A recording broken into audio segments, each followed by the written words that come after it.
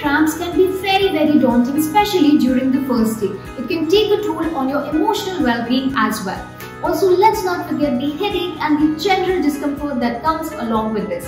First days are perhaps the worst. This is me Vinay Devan and you're watching The Health Site.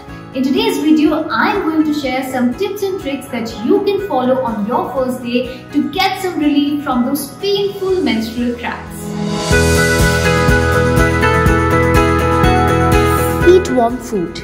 Avoid cold and raw foods during your cycle. Instead, consume warm foods that are rich in iron and calcium like milk, cheese, leafy greens like spinach or kale. Use a hot water bottle.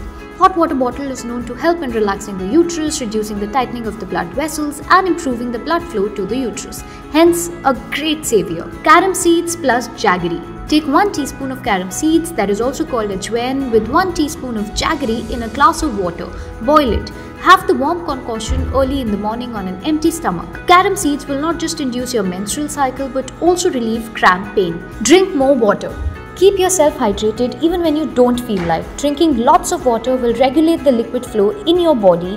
Hydrating with warm or hot liquids is another option that can soothe your cramps. Sugar intake.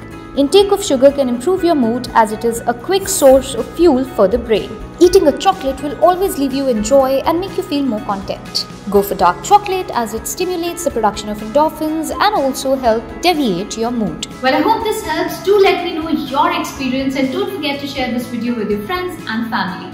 Also, don't forget to stay healthy and stay fit.